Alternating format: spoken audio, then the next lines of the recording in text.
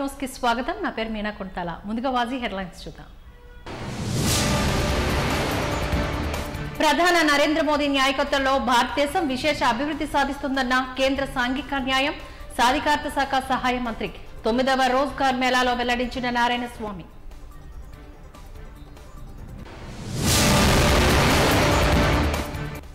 Chandrababu arrest అన్ని వర్గాల ప్రజలు ఖండిస్తున్నారు. దక్షిణ నియోజకవర్గపు తెలుగుదేశం పార్టీ ఇన్ఛార్జ్ గండిబాబ్జీ స్పష్టీకరణ.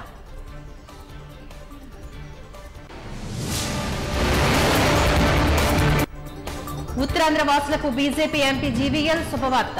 ఇప్పట్లోనే ఉక్కు ప్రైవేటీకరణ లేదంటూ ప్రకటన.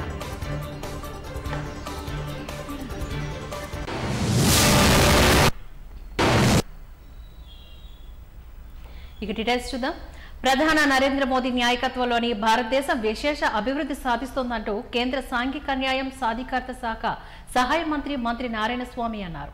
విశాఖలోని కైలాసపురంలోని గల సాగరమాల కన్వెన్షన్ సెంటర్లో జరిగిన తొమ్మిదవ రోజ్గార్ మేళా ఆయన జ్యోతి వెలిగించి ప్రారంభించారు. ఈ కార్యక్రమంలోనే ఆయన మాట్లాడుతూ దేశవ్యాప్తంగా యాభై ఒక్క వేల మందికి పైగా నలభై ఐదు ప్రాంతాల్లో నియామక పత్రాలు అందజేస్తున్నారు. దేశంలోని మూడో అతిపెద్ద విభాగపు తపాలా శాఖ అని చెప్పారు. చంద్రయాన్ విజయవంతంలోని ప్రపంచ దేశాలు భారతదేశం వైపే చూస్తున్నాయంటూ కొనియాడారు. ఇది ఇంజనీర్లు శాస్త్రవేత్తలు విజయంగా అభివర్ణించారు. ప్రపంచ దేశాలకు భారత్ ఆదర్శంగా నిలవాలంటూ ఆకాంక్షించారు. చట్టసభల్లోని మహిళలకు ముప్పై మూడు శాతం రిజర్వేషన్ కల్పించిన ఘనత బీజేపీదేనండి అన్నారు.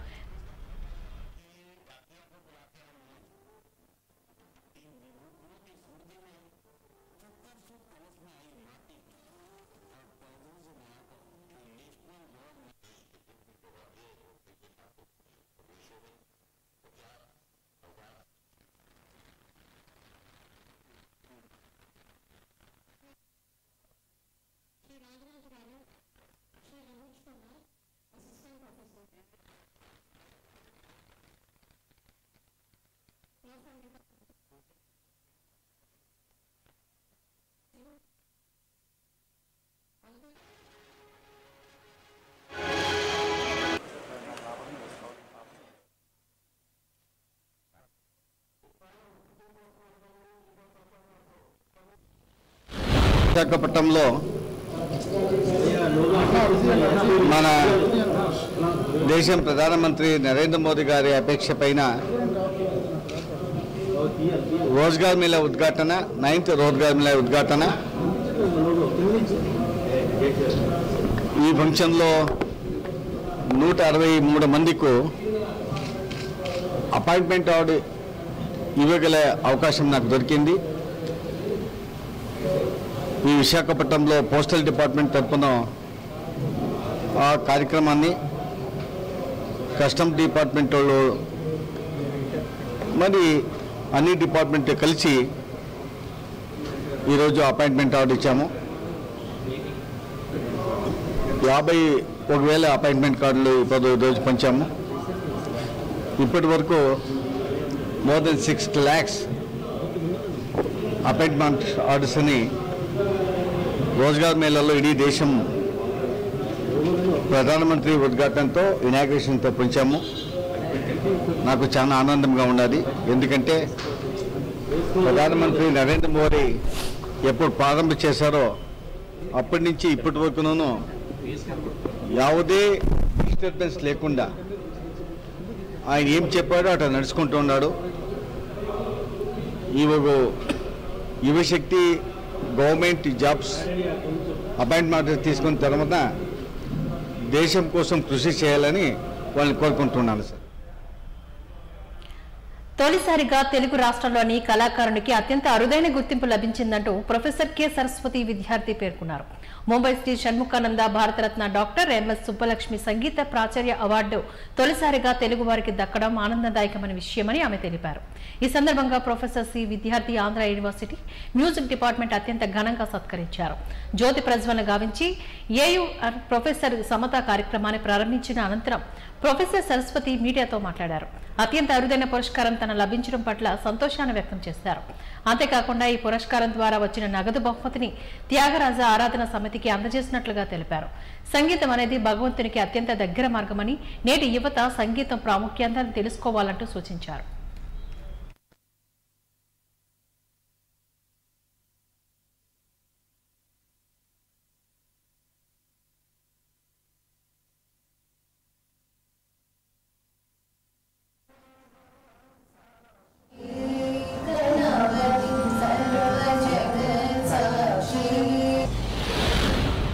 ముంబైలో ఉన్న Shri Shanmukhananda fine arts and music organisation వాళ్ళు ఎంఎస్ సుబ్బలక్ష్మి గారి పేరిట Bharat Ratna doctor M S Subbulakshmi Sangeetha Pracharya award. ఈ ఇదే అవార్డు. దాన్ని ఈ సంవత్సరం నాకు ప్రదానం చేశారు. సుబ్బలక్ష్మి గారు జీవించి ఉండగా ఆమె కన్సెంట్ తీసుకొని ఇచ్చిన అవార్డు ఇది. ఆల్ ఓవర్ ఇండియాలో చాలామందికి ఇచ్చారు ఇప్పటికీ. మన తెలుగు వాళ్ళకి ఇప్పటిదాకా ఫస్ట్ టైం ఆ అదృష్టం నాకు వరించింది. వారు నన్ను సెలెక్ట్ చేశారు. అంటే ఇటు అకాడమిక్స్లోని తర్వాత మ్యూజిక్ ఆర్ట్లో కూడా ఆ, ఒక హయ్యర్ హయ్యర్ ర్యాంక్లో ఉండడం వల్ల వారు నా పేరు సజెస్ట్ చేసుకున్నారు. ఈ అవార్డు నాకు ఇచ్చారు. చాలామందికి ఇచ్చారండి. మొత్తం వరల్డ్ ఫేమస్ మ్యూజిక్ ఆర్టిస్టులు అందరికీ ఇచ్చారు. నైవేలి ఆర్ సంతాన గోపాలన్ రుక్మిణి గారు విక్కు వినాయకరామన్ గారు ఇలా అన్ని ఫీల్డ్స్లోని అన్ని స్టేట్స్ కవర్ చేశారు.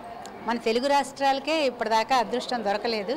ఫస్ట్ టైం మన తెలుగు రాష్ట్రాలకు కూడా దొరికింది ఇప్పుడు అదృష్టం.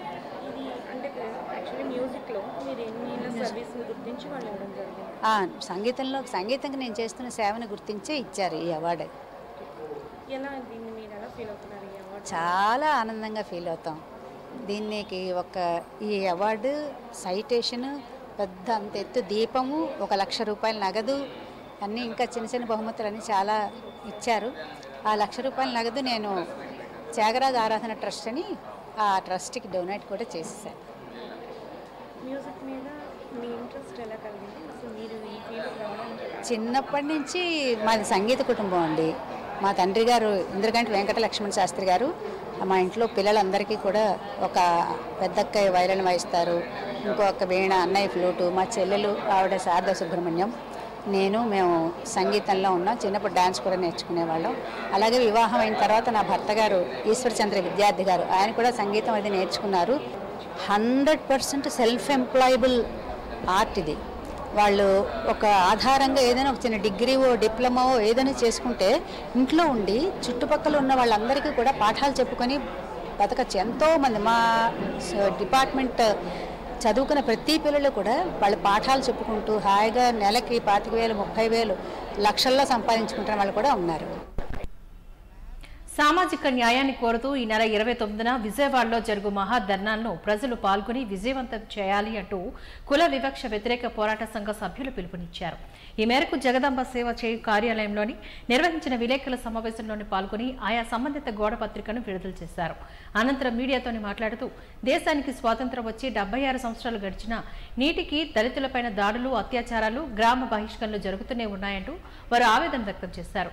గ్రామాల్లో దళితుల భూములను రాష్ట్ర ప్రభుత్వం బలవంతంగా లాక్కుంటుందని కేంద్రంలోని మోదీ ప్రభుత్వానికి అండదండగా మన రాష్ట్ర ప్రభుత్వం కూడా తూచా తప్పకుండా అమలు చేస్తుందంటూ వారు విమర్శించారు.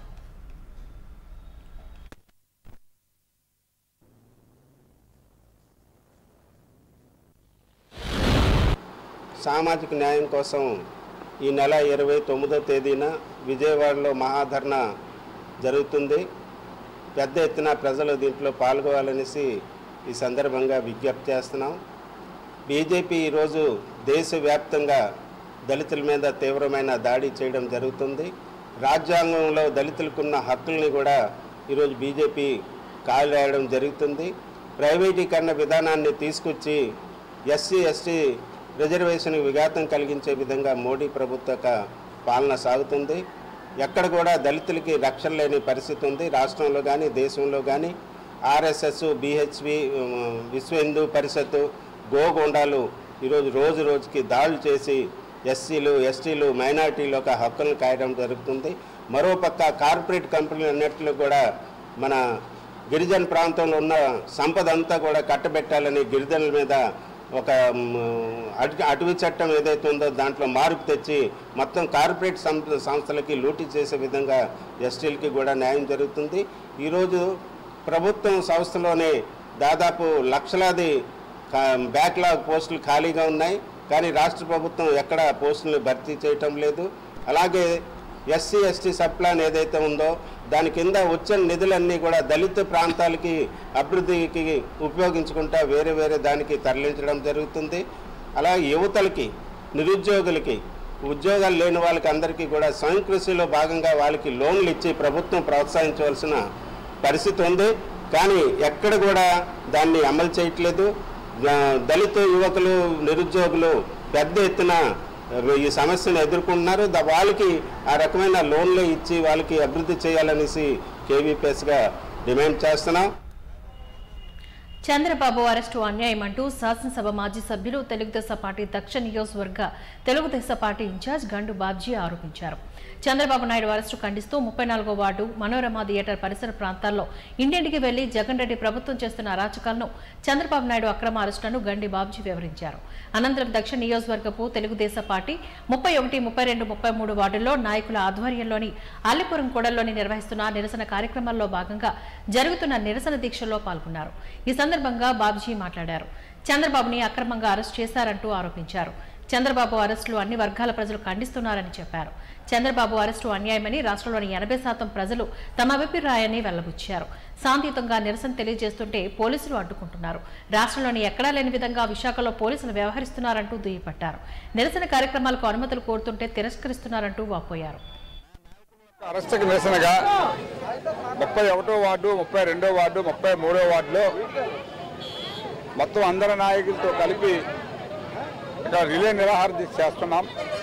ఎందుకంటే రోజు ఒక ప్లేస్లో చేస్తే ప్రజల్లోకి వెళ్ళటం లేదనే ఉద్దేశంతో ప్రాంతాల వారీగా రోజు ఒక మూడు వార్డులు చొప్పున ఈ రిలే నిరాహార దీక్ష చేయడం మొదలుపెట్టాం. ల్యాండ్ ఆర్డర్ ప్రాబ్లం లేకుండా ఎక్కడో దగ్గర ఓ పక్కన వేసుకొని మేము ఈ దీక్ష చేస్తున్నాం. పోలీసులకు ఇబ్బంది లేకుండా. సో ఈ దీక్ష ద్వారా ప్రజలకు తెలియజేసేది ఏమిటంటే ఈ అరెస్ట్ అన్యాయం. ఈ అన్యాయాన్ని మీరు అందరూ కూడా గమనించండి ప్రజలు. గమనించి మీరు చంద్రబాబుకు మద్దతు ఇవ్వండి అని చెప్పి కోరుతున్నాం. అట్లాగే వీధి వీధికి ఇంటింటికి వెళ్ళి మేము పాంప్లెట్లు పంచుతూ బాబు గారిని అరెస్ట్ చేసింది అన్యాయమా కాదని అడిగితే ఎనభై శాతం మంది అన్యాయం అని చెప్తున్నారు ఈరోజు ముప్పై నాలుగో వారు పొద్దున్న వెళ్ళాం. ఎయిట్ ఓ క్లాక్కి వెళ్ళి నైన్ థర్టీ వరకు తిరిగాం. తర్వాత ఈ ధర్నాకు వచ్చాం. అంటే ఈ అన్ని పరిస్థితులు గమనిస్తే జగన్ గారి మీద ఎనభై శాతం మంది ఎగిరిస్ట్గా ఉన్నారు. కానీ వాళ్ళ ఇంటెలిజెన్స్ వాళ్ళు ఏం చేస్తున్నారో తెలియదు కానీ ఆయన ఆయన నెత్తి మీద భస్మాస్త్ర వస్తూ ఆయనే వేసుకున్నాడు. డెఫినెట్గా ప్రజలు రేపు ఆ టైం వచ్చినప్పుడు తగిన గుణపాఠం చెప్తారని చెప్పి మీ ద్వారా తెలియజేస్తా ఉన్నాను. ముఖ్యంగా ప్రజలు ఇప్పుడిప్పుడే గమనిస్తున్నారు ఇది అన్యాయం పాపం. ఆయన అధికారంలోకి వచ్చి నాలుగున్నర సంవత్సరాలు అయింది. ఇప్పుడే అరెస్ట్ చేయడం. ఇప్పుడు అరెస్ట్ చేస్తే ఏమిటి ఉపయోగం? ఎన్నికలు వచ్చాయి కాబట్టి అరెస్ట్ చేస్తారని చెప్పి అనుకుంటా అందరూ నువ్వు నిజంగా దమ్ముని మగాడివి తప్పు జరిగితే వచ్చిన సంవత్సరం లోపలే నువ్వు అరెస్ట్ చేయాలి ఎవరినైనా. ఎంక్వైరీ చేసి ఇగో తప్పు జరిగిందని ఇటువంటి విషయాలన్నీ కూడా ప్రజలను అర్థం చేసుకోమని ప్రజలను గమనించమని రేపు రాబోయే రోజుల్లో ఇటువంటి మూర్ఖులకు బుద్ధి చెప్పాలని చెప్పి మీ ద్వారా కోరుతా ఉన్నాను. ముఖ్యంగా మీరు గమనించండి ఇవాళ ప్రెస్లో కూడా వచ్చింది.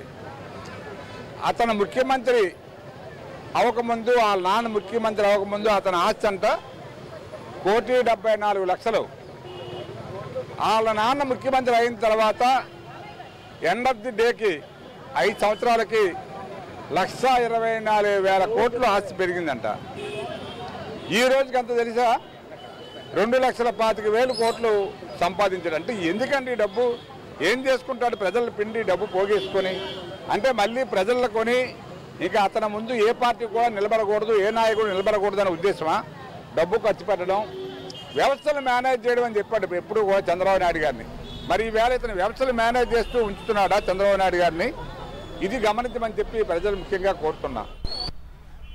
రాష్ట్ర వైసీపీ ప్రభుత్వం నిర్బంధ ప్రయోగించడం తీవ్రంగా ఖండించారు. AP anganwadi workers and helpers union CITU నాయకులు పి మణి అంగన్వాడీల నిర్బంధంపై సిఎన్టీయూ ఆధ్వర్యంలోని డాబా గార్డెన్స్ అంబేద్కర్ విగ్రహానికి వినతి పత్రాన్ని అందజేశారు. అనంతరం ఆమె మీడియాతో మాట్లాడుతూ రాష్ట్ర ప్రభుత్వం అంగన్వాడీల సమస్యలను పరిష్కరించకపోవడం ఏ కాకుండా ఉద్యమాన్ని తీవ్రంగా అణిచివేస్తున్నారంటూ ఆరోపించారు. ఈ దుర్మార్గమైన చట్ట వ్యతిరేకమైన వైఖరిని ఆపాలంటూ సమస్యను పరిష్కరించాలని కోరుతూ అంబేద్కర్ విగ్రహం వద్ద నిరసన తెలియజేస్తామని చెప్పారు. ప్రజా సమయ హక్కులను కాపాడాలని రాజ్యాంగాన్ని పరిరక్షించాలని కోరుతూ అంబేద్కర్ విగ్రహానికి ఏపీ అంగన్వాడీ వర్కర్స్ యూనియన్ ఆధ్వర్యంలో వినతి పత్రాన్ని అందజేస్తున్నామంటూ తెలిపారు.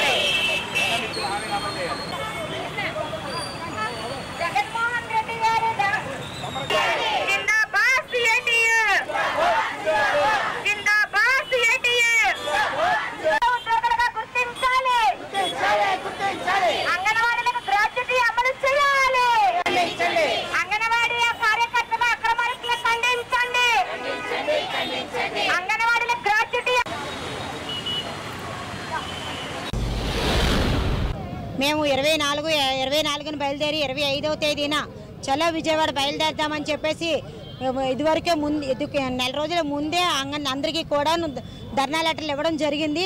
అయిన అయినప్పటికీ కూడా ఇరవై నాలుగో తేదీ నుండే బయలుదేరుతున్న అన్నప్పటి నుండే హౌస్ అరెస్టులు చేయడం అంగన్వాడీలను ఇంటికొచ్చి నిర్బంధించడం హౌస్ అరెస్టులు చేసి ఇంట్లో వాళ్ళని ఇబ్బంది పెట్టడం ఒకవేళ మేము ఇంట్లో లేని పక్షంలో మా భర్తల్ని మా పిల్లల్ని మా అత్తలు మామూలు ఎవరుంటే వాళ్ళని ఇబ్బంది పెట్టి వాళ్ళు ఎక్కడికి వెళ్ళారో చెప్పమని చెప్పేసి వాళ్ళని ఇబ్బంది పెట్టి హౌస్ అరెస్ట్ చేశారు. అయినా సరే కాకనే కాదని చెప్పేసి బలవంతంగా బయలుదేరి వెళ్ళేనప్పటికీ కూడా దారిలోనే ఆపేసి ఎక్కడ ఏ రూములు తీసుకుంటే ఆ రూముల్లోకి వచ్చేసి పోలీసులు వచ్చేసి అందరినీ కూడా పోలీస్ స్టేషన్లో అరెస్ట్ చేశారు. ఆ పోలీస్ స్టేషన్లో కాకుండా రోడ్డు మీద కూడా కొంత దూరం తీసుకొని వెళ్ళి అక్కడ ఆ రోడ్లు ఏవో మాకు తెలియదు ఆ తెలియని చోటు కూడా అంగన్వాడీ వాళ్ళందరినీ వదిలేశారు. చాలా నిర్బంధించారు. అంగన్వాడీలు వ్యాన్లు ఎక్కించేటప్పటికీ కూడా మగ ఆడ తారతమ్యం లేకుండా ఆడవాళ్ళు పట్టుకుని మగవాళ్ళ కాళ్ళు చేతులు పట్టుకొని లాగి వాళ్ళు ఇష్టం వచ్చినట్టు వ్యవహరించారు. దీన్ని మేము నిర- ఖండిస్తున్నామండి. జగన్మోహన్ రెడ్డి గారు అంగన్వాడీలని తీవ్రంగా అవమానించారు. పోలీసులతో ఎంత అవమానం చేయాలో అంత అవమానం చేశారు. ఏంటి అంగన్వాడీలు చేసిన తప్పు? తను పాదయాత్రలో తెలంగాణ కన్నా మీకు వెయ్యి రూపాయలు అదనంగా వేతనం ఇస్తాను అన్నారు. అది ఇవ్వని ఇప్పుడు అడిగారు. గడిచిన రెండు సంవత్సరాల నుండి అడుగుతూనే ఉన్నారు. ధర్నా చెయ్యని రోజు లేదు. ముఖ్యమంత్రి గారిని అడగని రోజు లేదు. ఒక్క ముఖ్యమంత్రి గారు తప్పితే మిగతా వాళ్ళందరినీ అడిగారు.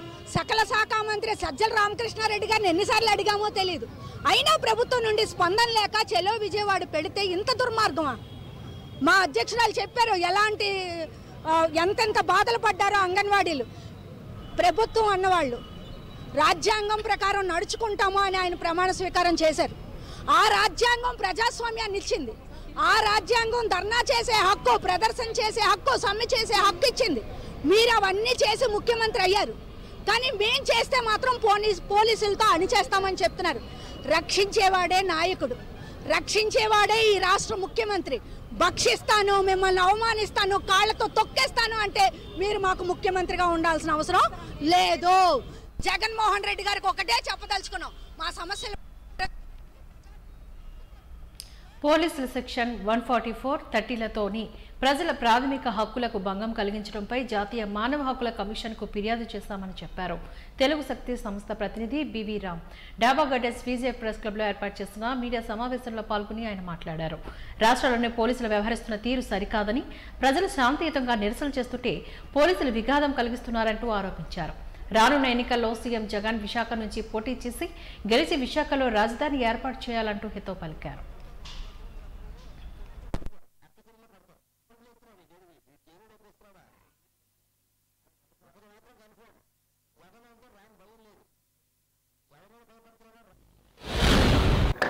ఆంధ్రప్రదేశ్ రాష్ట్ర ప్రభుత్వం పోలీస్ వ్యవస్థ చేస్తున్న అరాచకం పైన జాతీయ మానవ హక్కు కమిషన్ ఫిర్యాదు చేసిన చైర్మన్ గారికి.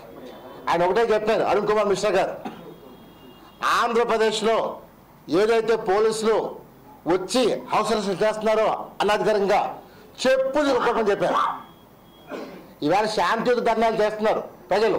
వాళ్ళు ఏమీ ప్రభుత్వాన్ని నష్టం చేయట్లేదు. పోలీసులు వారు చేస్తున్న ధర్నాలకి ప్రొటెక్షన్లకి మీరు విఘాతం కలిగిస్తున్నారు. ఇక పైన నేటి నుంచి కానీ రాష్ట్రంలో ఏ పోలీస్ అయినా సరే ప్రజలు చేస్తున్న నిరసనకి అడ్డుకుంటే మాత్రం నేను ఒకటే పిలిపిస్తాను ప్రజలకి. తిరగబడి కొట్టడం మనం చేస్తాను ఎందుకంటే ఈ పోలీసులు మరం కట్టి పనులతో జీతాలు తీసుకొని ఈవేళ మనపైనే లాఠీ చార్జ్ చేస్తున్నారు. సిగ్గుండాలి. గతంలో ఇదే పోలీసు జగన్మోహన్ రెడ్డి నాకు నమ్మకం లేని చెప్పారు ఈవేళ సిగ్గు లేకుండా తొత్తుల్లాగా మారి జగన్మోహన్కి కాపలా కాస్తున్నారు. మీరు ప్రజలకు కాపలా కాయాలి. ఇవాళ చంద్రబాబు నాయుడు మీద ఒక తప్పుడు కేసు పెట్టి ఇవాళ పోలీసులు చేస్తున్నారు. వివేకానంద ఎవరు చంపారు? నీ దగ్గర చెప్పలేకపోయారు. ముప్పై వేల మంది మహిళలు మిస్సింగ్ అవుతే నో పోలీస్. సిగ్గుండాలి. మీరు డిపార్ట్మెంట్ ఆమె ఒకటే పిలిపేస్తాను ఈ రోజు నుంచి ఆంధ్రప్రదేశ్ రాష్ట్రంలో చంద్రబాబు కోసం మద్దతు ప్రకటించి ప్రొటెస్ట్ చేసేది ఎవరైనా సరే పో అడ్డుకుంటే తిరిగి కొట్టమని చెప్పి తెలిసి పిలిపిస్తుంది. ఇది నేను చెప్పేది కాదు నేషనల్ హ్యూమన్ రైట్స్ కమిషన్ చైర్మన్గా చెప్పారు. మనకి హక్కు ఉంది రాజ్యాంగం మనకు హక్కు కల్పించింది. మన హక్కు కాలు రాగే రాసే హక్కు ఏ ప్రభుత్వానికి ఏ నా కురికి నేను చేస్తున్నాను నెక్స్ట్ ఇటీవల వైవి సుబ్బారెడ్డి గారు గుడూరు అమర్నాథ్ గారు ఏదో మొన్న శనివారం నేను ఊళ్ళో లేని సమయంలో ఏదో చెప్పారంట పదిహేను ఏదో ఇక్కడికి వచ్చేస్తాడు ముఖ్యమంత్రి అని. ఏదో ఆ ముఖ్యమంత్రి ఏదో చాలా మంది అంటారు. ఏదో రాయలసీమ సింహం అని. తొక్క తాడుకోరు కాదు నువ్వు సింహం యుద్ధం చేతకాలైన దొంగ దెబ్బ చేస్తాడు. చంద్రబాబు యుద్ధం చేతకాక ఒక తప్పుడు కేసు పెట్టి ఇవాళ నువ్వు డ్రామా ఆడుతున్నావు. నిజంగా నువ్వు మగాడవైతే ఏదైతే నువ్వు రాయలసీమ సింహం అంటున్నారో నీకు దమ్ము ధైర్యం అంటే రేపు వచ్చే ఎలక్షన్లో వైజాగ్ పోటీ చేయి. నువ్వు ఇక్కడ రావటం కాదు. నువ్వు పోటీ చేసి గెలిచి అప్పుడు రాజధాని పెట్టుకో ఇక్కడ. మీ కెనడా వస్తువులను బహిష్కరించాలని కోరుతూ జనజాగరణ సమితి నిరసన ప్రదర్శన చేపట్టింది. మదిరిపాలెం తెలుగు తల్లి విగ్రహం వద్ద చేపట్టిన ఈ ధర్నాను ఉద్దేశించి సమితి అధ్యక్షులు వాసు మాట్లాడారు. టెర్రరిజాన్ని ప్రోత్సహిస్తున్న కెనడా దేశం సహాయ సహకారాలు అందించడం పట్ల వ్యతిరేకతను చాటారు.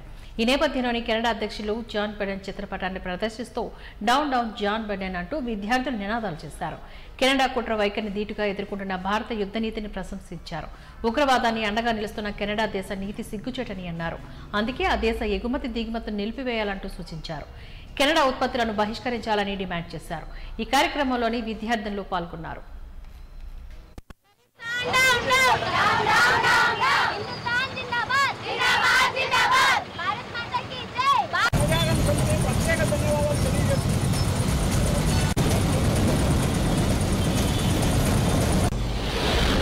టెర్రరిస్ట్ వాళ్ళకి సపోర్ట్ చేస్తున్నారు కాబట్టి మేము వాళ్ళకి సపోర్ట్ చేయకుండా ఉండడానికి వాళ్ళ మీద బాయ్కౌట్ కన్నడ వాళ్ళు టెర్రరిస్ట్ వాళ్ళకి సపోర్ట్ చేస్తున్నారు కాబట్టి మేము వాళ్ళు సపోర్ట్ చేయకూడదని వచ్చాము.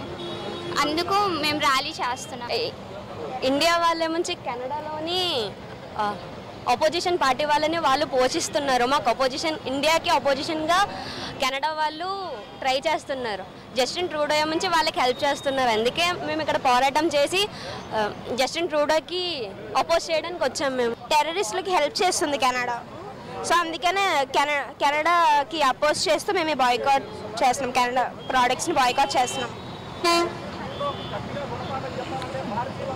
టెర్రరిస్టులకి ఉంచు టెర్రరిస్టులకి సపోర్ట్ చేస్తున్న జస్టిన్ ట్రూడో కోసం మేము ఈ పోరాటం చేస్తున్నాము. ఈ పోరాటం ఇంకా అలా సాగుకోనాలంటే ఏవైతే కెనడా ప్రొడక్ట్స్ అనేవి ఉన్నాయో అవి ఇంపోర్ట్ అనేది ఆపేస్తే ఇది అనేది వాళ్ళకి మంచి గుణపాఠం అవుతుందని మా అందరి యొక్క ఒపీనియన్ సో అందరూ ఈ ఇంపోర్ట్ అనేది ఆపాలని కోరుకుంటున్నాం. భారతదేశ సార్వభౌమాధికారాన్ని వ్యతిరేకిస్తున్న ఖలిస్తాన్ వేర్పాటువాద ఉగ్రవాదులను ప్రోత్సహిస్తూ ఆశ్రయం కల్పిస్తున్న కెనడా ఖలిస్తాన్ ఉగ్రవాదులకు కేర్ ఆఫ్ అడ్రస్గా మారింది.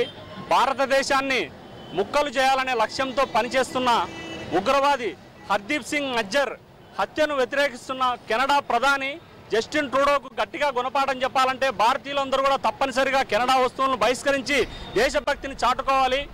కెనడా ప్రభుత్వానికి ధీటుగా సమాధానం చెప్తున్న భారత ప్రభుత్వానికి జనజాగరణ సమితి ప్రత్యేక ధన్యవాదాలు తెలియజేస్తుంది. నగర పరిధిలోని ఉన్న అన్ని పోలీస్ స్టేషన్లో section one forty four section three nought one police చట్టాలు అమల్లో ఉంచి అక్రమ గృహ నిర్బంధాలు అరెస్ట్ చేస్తున్నారంటూ టీడీపీ నాయకులు మండిపడ్డారు. గత కొన్ని రోజులుగా నగరంలో జరుగుతున్న అక్రమ అరెస్టులపై టీడీపీ శ్రేణులు నగర పోలీస్ కమిషనర్కు ఫిర్యాదు చేశారు. జిల్లా పోలీస్ కమిషనరేట్ వద్ద టీడీపీ సీన్ మీడియాతోని మాట్లాడారు. తమ నిరసన వ్యక్తం చేసినందుకు గాను అనేక మార్లు అనుమతులు కోరినప్పటికీ కూడా పోలీసులు తాత్సర్యం చేసి కార్యక్రమాన్ని వాయిదా వేసే విధంగా వ్యవహరించారని చెప్పారు. తద్వారా తమను విలువైన సమయాన్ని వృధా చేశారని మానసికంగా వేధిస్తూ సమాజంలో తమకున్న గౌరవాన్ని ప్రతిష్టలకు భంగం కలిగించారంటూ వారు విమర్శించారు. దీని రాజ్యాంగ ప్రకారం మానవ హక్కుల ఉల్లంఘన కిందకు వస్తుందని విషయాన్ని వారు గుర్తు చేశారు. అప్రకటిత ఎమర్జెన్సీ మాదిరిగాను ప్రజలకు రాజ్యాంగం కల్పించిన హక్కులను హరిస్తున్నారంటూ విరుచుకుపడ్డారు. శాంతియుత నిరసనలకు అనుమతినివ్వాల్సిందిగా కోరారు. చట్ట ఉల్లంఘన చేసిన వారిపై తగు చర్యలు తీసుకోవాలంటూ వారు డిమాండ్ చేస్తున్నారు. తెలుగుదేశం పార్టీ జాతీయ అధ్యక్షులు మాజీ ముఖ్యమంత్రి శ్రీ నారా చంద్రబాబు నాయుడు గారిని స్కిల్ డెవలప్మెంట్ కేసులో అక్రమంగా అరెస్ట్ చేసిన నేపథ్యంలో మరుసటి రోజు నుండి కూడా మేము సిపి గారికి అపాయింట్మెంట్ అడుగుతున్నాము. అంతేకాకుండా పర్మిషన్స్కి అనేక సార్లు దరఖాస్తులు పెట్టాము. అయినప్పటికీ కూడా ఇవ్వలేదు.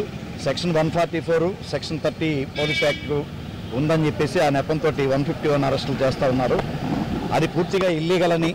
ఎందుకంటే వన్ ఫార్టీ ఫోర్ సెక్షన్ విధించేటప్పుడు ఎలాబరేట్ ప్రొసీజర్ ఉంది. ఆ ప్రొసీజర్ ప్రకారము గెజిట్ పబ్లికేషన్ చేయాలి ప్రొసీడింగ్స్ కాపీస్ కూడా అందజేయాల్సిన అవసరం ఉంది. ఏ స్థాయి వ్యక్తి చేశారు ఏ ప్రాంతంలో అది వన్ ఫార్టీ ఫోర్ ఎమ్మెల్యే ఉందో చెప్పాల్సిన అవసరం ఉంది. అలాగే సెక్షన్ థర్టీ విషయంలో కూడా నిబంధనలు పాటించట్లేదు. యాజ్ స్టేషన్ రిలేటెడ్గా వన్ ఫిఫ్టీ వన్ అరెస్టులు చేయకూడదని సుప్రీంకోర్టు హైకోర్టు వేరియస్ రూలింగ్స్ ఉన్నాయి. వాటన్నిటిని అతిక్రమించి ఇవాళ ఏంటంటే పోలీసులు ఒక అప్రకటిత ఎమర్జెన్సీని అమలు చేసే విధంగా మరి తెలుగుదేశం పార్టీ కార్యకర్తలని ఇంట్లోంచి రాకుండా ఎక్కడైనా సరే చిన్న నిరసన కార్యక్రమం చేస్తే అక్రమంగా అరెస్టులు చూపిస్తూ ఉన్నారు. ఈ దే- ఈ రాష్ట్రంలో పూర్తిగా ప్రజాస్వామ్యం విఫలమైంది. ప్రజల హక్కులకి భంగం కలిగిస్తూ ఉన్నారు. ఏదైతే భారత రాజ్యాంగంలోని ఫండమెంటల్ రైట్స్ ఉన్నాయో ఆ ప్రాథమిక హక్కులు పూర్తిగా విఘాతం కలిగిస్తూ ఒక నిరసన కూడా తెలియజేసే అవకాశాన్ని లేకుండా చేయటం ఏదైతే ఉంది దురదృష్టకరం. అంతేకాకుండా మానవ హక్కుల ఉల్లంఘన కూడా ఇవాళ పోలీసులు పాల్పడుతున్నారని చెప్పేసి మేము తీవ్రంగా ఆరోపిస్తున్నాము. కారణం ఏంటంటే మా ఇంటికి వచ్చి మీరు కాపలా ఉంటే మేము దొంగలనే సమాజంలో మమ్మల్ని అనుకోవడం. ఏ నేరం చేస్తామని చెప్పేసి మమ్మల్ని గృహ నిర్బంధాలు చేస్తున్నారు. ఎక్కడ పడితే అక్కడ మీరు అరెస్ట్ చేస్తూ ఉంటే ఖచ్చితంగా మా వ్యక్తిగత స్వేచ్ఛతో పాటు మా గౌరవ ప్రతిష్టలు కూడా భంగం కలుగుతుందని చెప్పేసి తక్షణమే వన్ ఫార్టీ ఫోర్ సెక్షన్ థర్టీని సడలించాలని ఉపసంహరించాలని ఉపసంహరించి స్వేచ్ఛగా శాంతియుత వాతావరణంలో మేము నిరసన తెలియజేయడానికి అవకాశం కల్పించాలని చెప్పి డిమాండ్ తోటి ఇవాళ సిపి గారిని కావడానికి వచ్చాము. వేరే కేసు ఎంక్వైరీలో ఎక్కడో బయట ఉన్నారని చెప్పేసి చెప్తా ఉన్నారు. మరి మేము సిపి గారి అపాయింట్మెంట్ కోరితే డీసీపీ వన్ కలవండి టూని కలవండి అని చెప్పేసి చెప్తా ఉన్నారు. సరే డీసీపీ వన్ డీసీపీ టూని కలిసిన తర్వాత మళ్ళీ సిపి గారిని కూడా కలిసి ఈ రిప్రజెంటేషన్ ఇవ్వాలని చెప్పి అనుకుంటున్నాము. సరైన రీతిలో స్పందించకపోతే ఖచ్చితంగా హైకోర్టులో ఒక రిట్ వేయాలని చెప్పేసి కూడా తెలుగుదేశం లీడర్స్ తరపున మేము నిర్ణయించుకున్నామని చెప్పి సందర్భంగా తెలియజేస్తున్నాం. ఉత్తరాంధ్ర వాసులకు బీజేపీ ఎంపీ జీవీఎల్ శుభవార్త చెప్పారు. ఇకపై నేరుగా వారణాసికి వెళ్ళేందుకు వీలుగా సంబల్పూర్ నుంచి బనారస్ మధ్య నడిచే ఎక్స్ప్రెస్ రైళ్ళను విశాఖ వరకు పొడిగించేందుకు గాను రైల్వే శాఖ పచ్చజెండా ఊపిందంటూ వెల్లడించారు. ఈ విషయాన్ని లాసెన్స్ పే కాలనీ బీజేపీ కార్యాలయంలో నిర్వహించిన విలేకరుల సమావేశంలో ఎంపీ ప్రకటించారు. ఈ సందర్భంగా ఎంపీ జీవీఎల్ మాట్లాడారు. విశాఖకు ప్రైవేటీకరణకు తాత్కాలిక ఊరట లభించిందని చెప్పారు. ఇప్పట్లోని కేంద్ర ప్రైవేటీకరణకు నిర్ణయం తీసుకోదంటూ స్పష్టం చేశారు. దీంతో కేంద్రం ఆంధ్రప్రదేశ్ పట్ల ఉన్న సానుకూల దృక్పథాన్ని చూపుతుందంటూ మరోమారు స్పష్టం చేశారు.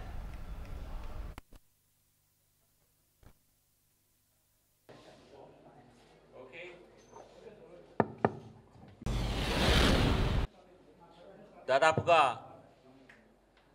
పది పదిహేను సంవత్సరాలుగా విశాఖపట్నం నుంచి వారణాసికి ఒక ఎక్స్ప్రెస్ ట్రైన్ కావాలనేటువంటి డిమాండ్ అనేక సంవత్సరాలుగా ఇక్కడ ఉన్నప్పటికీ కూడా అది ఎప్పుడూ కార్యరూపం దాల్చలేదు. ఈ విషయమై నేను గత గత సంవత్సరంగా అందులో ప్రధానంగా గత ఆరు నెలలుగా విశేషమైనటువంటి ప్రయత్నం చేయటం జరిగింది. పార్లమెంట్లో దీని గురించి మాట్లాడటం జరిగింది. కేంద్ర అశ్విని మంత్రి అశ్విని వైష్ణవ్ గారిని కలిసి ప్రత్యేకంగా విశాఖపట్నం విశాఖ వారణాసి ట్రైన్ని ఎక్స్ప్రెస్ ట్రైన్ ప్రారంభించాలని కోరటం జరిగింది. ఆ ప్రయత్నాల ఫలితంగా ఏప్రిల్ నెలలో ఉన్నటువంటి పుష్కరాలు గంగా పుష్కరాల సమయంలో స్పెషల్ రైల్ని స్పెషల్ ట్రైన్ని విశాఖపట్నం నుంచి వారణాసికి నడపడం జరిగింది. అది సమ్మర్ స్పెషల్గా నడిచి ఈ మధ్య కాలంలోనే ఈ మధ్య అది డిస్కంటిన్యూ అవ్వటం జరిగింది. కానీ నేను జోన్ అధికారులతో కూడా మాట్లాడి ఈ నెల సెప్టెంబర్ ఏడవ తేదీన జరిగిన సమావేశంలో ప్రధానంగా ఏడెనిమిది అంశాలు ప్రస్తావిస్తూ దీన్ని అత్యంత ప్రముఖంగా ప్రస్తావించడం జరిగింది. సో రైల్వే బోర్డు ముందుకు ఈ విషయం తీసుకువెళ్ళగా జోనల్ అధికారులు దీనికి రైల్వే బోర్డు నుంచి నిన్న ఆమోదం రావటం జరిగింది. సో విశాఖపట్నం వారణాసి బెనారస్ ఎక్స్ప్రెస్ ప- పద్దెనిమిది మూడు వందల పదకొండు నంబర్తో one eight three double one నంబర్తో విశాఖపట్నం బెనారస్ ఎక్స్ప్రెస్. అలాగే అటు నుంచి one eight three one two నంబర్తో బెనారస్ విశాఖపట్నం ఎక్స్ప్రెస్ వారానికి రెండు రోజుల పాటు ఇది నడవటం జరుగుతుంది. బుధవారం ఆదివారం ఇక్కడి నుంచి బయలుదేరేటువంటి రైలు బయలుదేరితే రిటర్న్ వచ్చేటువంటి రైలు మంగళవారం శుక్రవారం నడుస్తాయి. అందరి ముందున్నది ఒకటే ప్రశ్న. అందరి ప్రయత్నం మా అందరి ప్రయత్నం ఒక్కటే. విశాఖపట్నం స్టీల్ ప్లాంట్ని ఏ విధంగా నడిపించాలి లాభసాటిగా ఏ రకంగా నడిపించాలి ఏ విధంగా విశాఖపట్నం స్టీల్ ప్లాంట్ ఎదుర్కొంటున్న సమస్యల నుంచి అది అధిగమించేలా పూర్తి స్థాయి సాకారం చేయాలి అన్నదే అందరి ముందు ఉన్నటువంటి మా అందరి ముందున్నటువంటి ప్రశ్న. మీ అందరూ చేస్తున్న ప్రయత్నం అదే.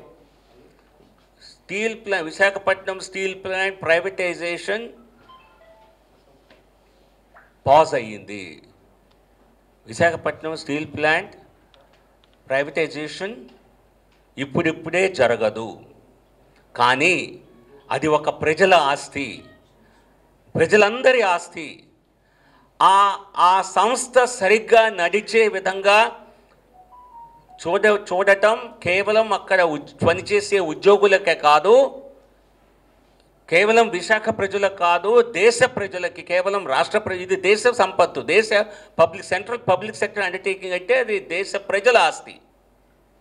కేంద్ర ప్రభుత్వానికి మినిస్ట్రీ ఆఫ్ స్టీల్ ఓనర్షిప్లో ఉంది అది కానీ సేల్ పెట్టిన ప్లాంట్స్ అన్నిటికీ కూడా ల్యాండ్ ఓనర్షిప్ కూడా సేల్ ప్లాంట్స్దే. ఈ విచిత్రం ఏంటి? మరి ఎంత ప్రత్యేకమైనటువంటి పరిస్థితి? విశాఖపట్నం స్టీల్ ప్లాంట్కి ఎవరిచ్చారు? మోడీ గారు ఇచ్చారా ఏ విశాఖపట్నం స్టీల్ ప్లాంట్ కోసం ల్యాండ్ సమీకరించినప్పుడు సేల్ ప్లాంట్స్కి సేల్కి ఇస్తే విశాఖపట్నం స్టీల్ ల్యాండ్ను అప్పటి ప్రభుత్వాలు ఎందుకు ఇవ్వలేదు? అందరూ ఏం చేస్తున్నారు అప్పుడు?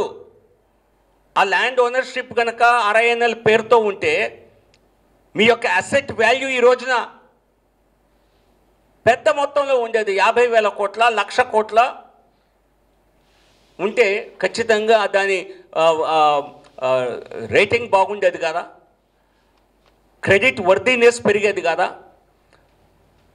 సో ఇటువంటి అనేక సమస్యల్ని ఇవన్నీ కూడా వాటిని పరిష్కరించే విధంగా మోదీ గారి ప్రభుత్వం మా ప్రభుత్వం పనిచేస్తుంటే మరి ఏదో ఒక రకమైనటువంటి తప్పుడు ఆరోపణలతో కేంద్ర ప్రభుత్వాన్ని నిందించడం అంటే ఇది మిమ్మల్ని మోసం చేసిన వాడిని మీరు ప్రేమించి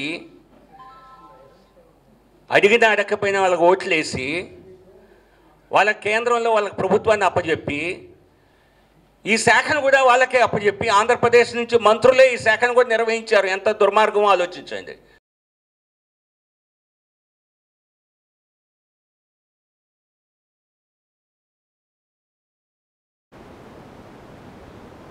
వాది న్యూస్ ముగించే ముందు ముఖ్యాంశాలు మరొకసారి చూద్దాం. ప్రధాన నరేంద్ర మోదీ నాయకత్వంలో భారతదేశం విశేష అభివృద్ధి సాధిస్తుందన్న కేంద్ర సాంఘిక న్యాయం సాధికారత శాఖ సహాయ మంత్రి తొమ్మిదవ రోజ్గార్ మేళాలో వెల్లడించిన నారాయణ స్వామి.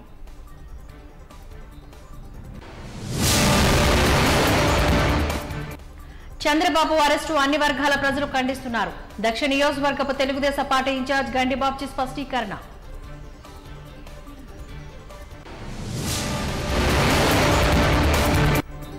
ఉత్తరాంధ్ర వాసులకు బీజేపీ ఎంపీ జీవీఎల్ శుభవార్త. ఇప్పట్లోనే ఉక్కు ప్రైవేటీకరణ లేదంటూ ప్రకటన.